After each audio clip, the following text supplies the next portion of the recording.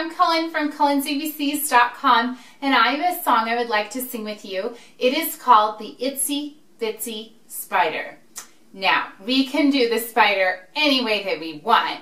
I have two ways that I'm going to show you, but of course, if you have a way that you would like to make the spider with your hands, that's wonderful. So if you put your fingers together like this, and we'll use our wrists to turn our hands like this, then we'll move the spider up the water spout that way. Or if you put your fingers like this, your two thumbs here and your two pointer fingers here, and move it up a little bit. Put your pointer finger on your thumb and then move it up like this.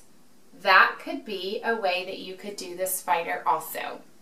So any way that you want to do it. I'm going to do it like this and move my wrists back and forth to have the spider go up this spout.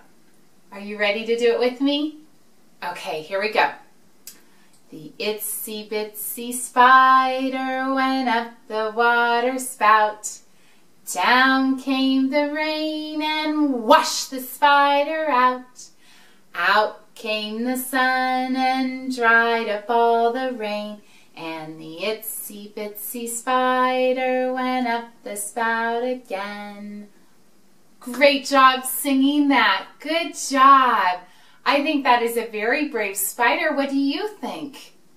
He went up the water spout, he got washed out, and then he did it again. I hope that you are brave just like that spider. Bye.